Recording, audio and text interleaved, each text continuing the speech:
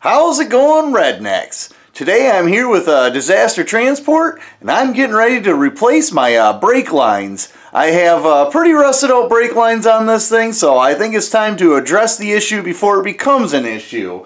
And uh, first things first, I need to figure out what size line I have. So what I'm going to do is I take a quarter inch wrench and I slide that over top the line and that tells me I have a quarter inch line. If there's a play to the wrench, then I'll have a 3 16 brake line. Now that I know what size brake line I'm going to be running, I need to decide what type of brake line I'm going to be running. And there's several different types. You got uh, coated steel, this is copper nickel plated, those are the only two I have on hand. These This is uh, typically found in your auto parts store. I bought that kit on uh, Amazon.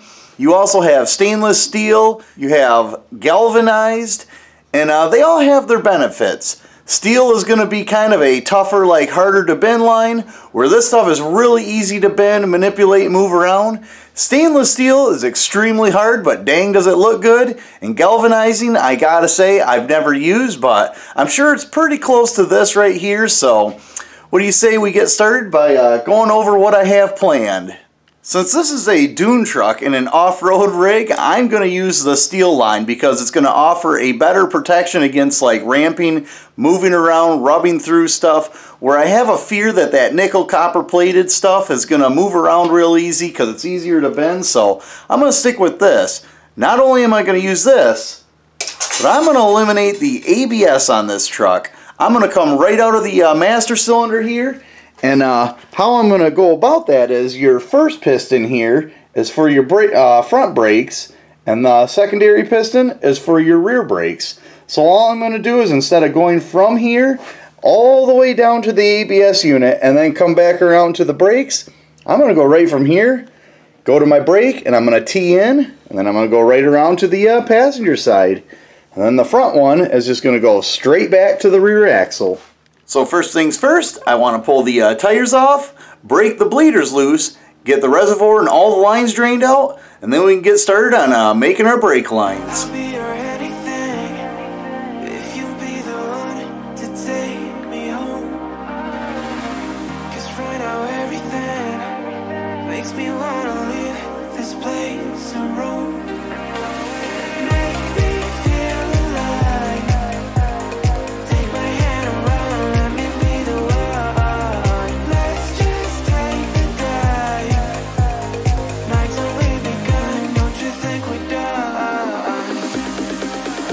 As you can see, the uh, brake reservoir only emptied in the back here. It did not empty in the front. And that's because there's a divider wall in here to divide the front and rear from each other. And as you can see, I bled out the front all the way, and the rear still has some in there because I haven't bled it out yet. And I'm not going to get to that right now. So what I'm going to do instead is I'm going to start removing the brake lines in the front so I can start redoing them. And I have a few options of removing this uh, nut right now, or your uh, brake line screw. You can use an open-end wrench, a line wrench, or since we're not keeping any of it, I'm going to cut it with any means necessary, and I'm going to take a socket, pop a socket onto it, and break it loose. And that's a good method to use because, uh, once again, since we're not saving any of this, it makes it a heck of a lot easier to remove all this. So what do you say we start removing all the front lines, and then uh, we can start bending our uh, new line.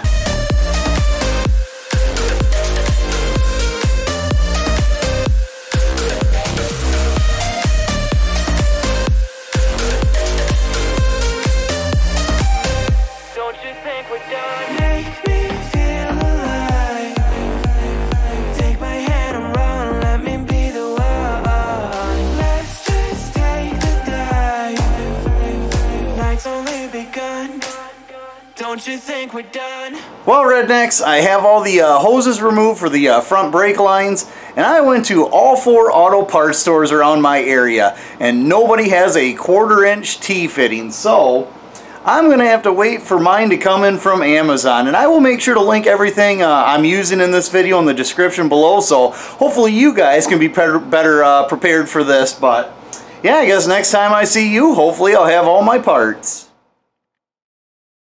Well, Rednecks, it's been a few days and uh, things have escalated a little bit. As you can see, the whole front clips off the truck, and I'm getting ready to do the head gaskets on the uh, motor, but more about that in another video. Right now, let's go over what I got sitting over here.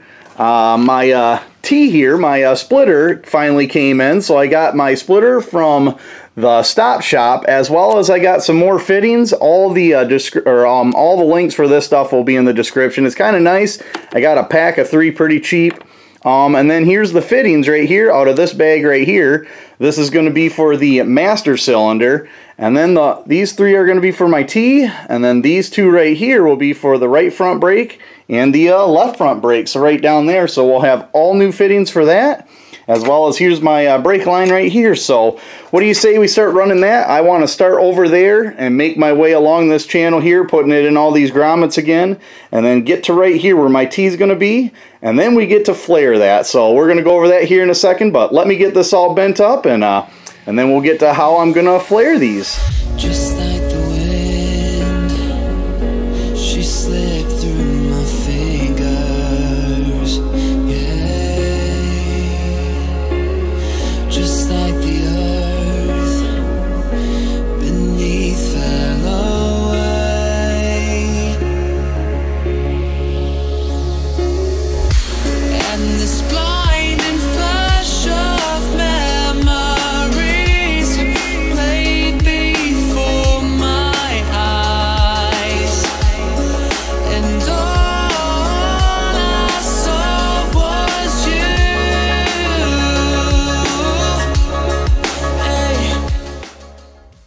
With the passenger side brake line all bent up, the uh, first thing I want to do is uh, put a flare on it and put one of these uh, nuts on so I can thread it in and I want to do that on the other side and traditionally I would use this tool right here. You put your uh, size brake line in one of these then you use this die along with this to make a bubble flare and then you finish it off with this thing to make a double flare. And I gotta be honest, it usually takes me two or three times to make a good flare with that.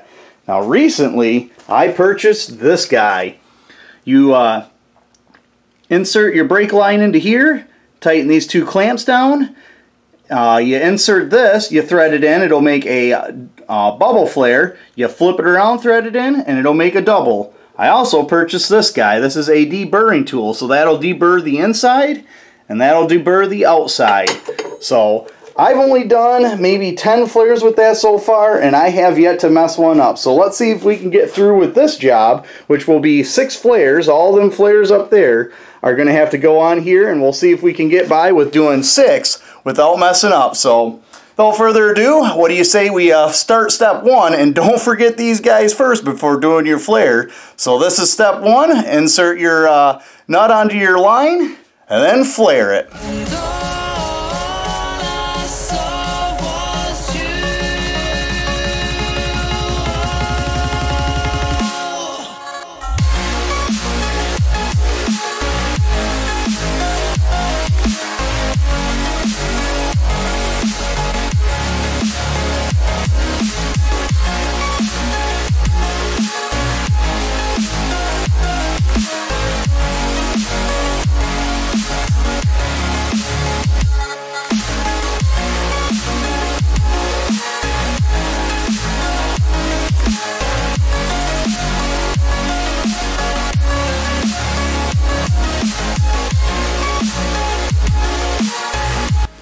I gotta admit, that tool right there is absolutely amazing. So simple to use, and it made two perfect flares without any uh, trouble. So, what do you say we get this line ran, and then we make the other two, and I will get back with you guys once all that is uh, done.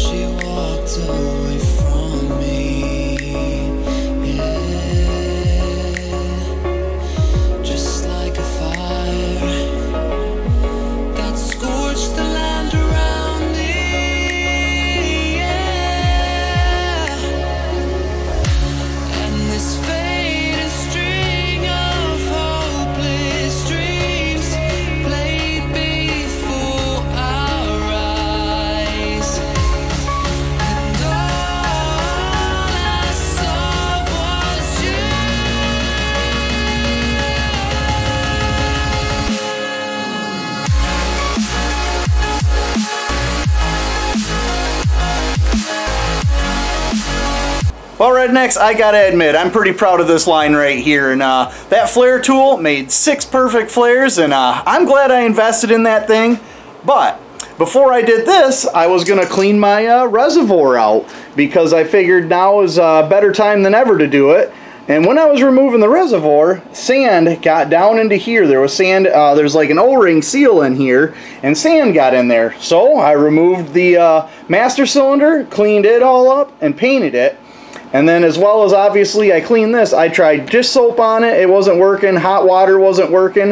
What I ultimately ended up using was uh, scrubbing bubbles for your uh, shower. And I sprayed that in the top here, sprayed it in the bottom there. And I tell you what, that worked almost instantaneously. And then I just heated this thing up in my uh, oven for a little bit just to make sure all the water was out of it. So yeah, that thing turned out pretty good. But what do you say we take my uh, unique little line here that's going to go from our uh, T, and then that's going to go up to our uh, master cylinder.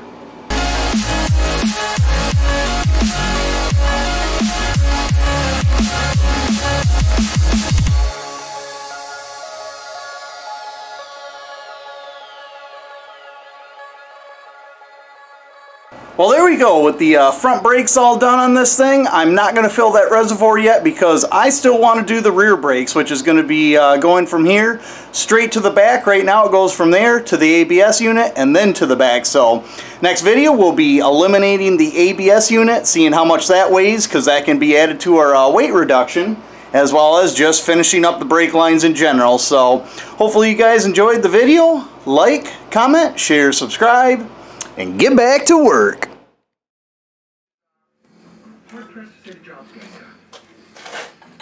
Under the classified Alien Autobot Cooperation Act, you agreed to share your intel with us, but not your advancements in weapons.